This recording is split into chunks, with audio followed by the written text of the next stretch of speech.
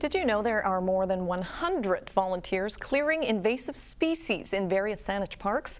It's called the Pulling Together program, and while there can be up to a dozen people working together, at one particular park there's just Colleen. It's one thing to weed your own garden, but imagine weeding an entire Saanich park. I've been going after dandelions since day one. Meet Colleen O'Brien, lead steward for Playfair Park since 2003. It's like I have two intense work periods. Now is one of them, trying to get rid of weeds, and then later on is trying to get rid of seeds I don't want falling. She estimates that in 2015 she weeded, cleared leaves, mulched, seeded for about 1,200 hours. It's very labor intensive. A lot of it's just being down on your hands and knees. And it's all volunteer.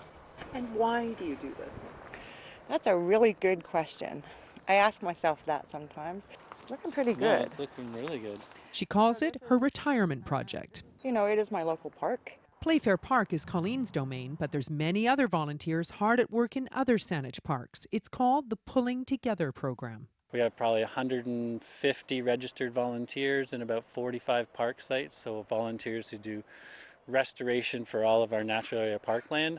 But Colleen is definitely kind of leading the way in expertise so it's incredible just to see the difference over the work you've done last year compared to this year. To understand the scope of Colleen's work, you really need to visit this park in the spring. It's all Colleen and a bit of staff support we do for a few afternoons here and there throughout the year, but I'd say we spend maybe $500 a year doing this entire project. Her efforts to bring back this Garry Oak ecosystem have not gone unnoticed by neighbors who nominated Colleen for a Saanich Parks Environmental Award. Yeah, it was really nice to get the recognition. I, I, I worked really hard here. Just knowing how much she's done in this park over the years, just making the park a better place for everyone to enjoy, really. We're just super proud of her for getting it. One person giving her time to benefit a whole community. Vital People is brought to you in part by the Victoria Foundation, celebrating 80 years of connecting people who care with causes that matter.